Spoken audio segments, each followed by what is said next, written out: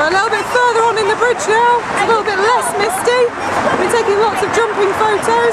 How are you feeling? Oh, I'm very energetic now. Yeah? Scary, scary.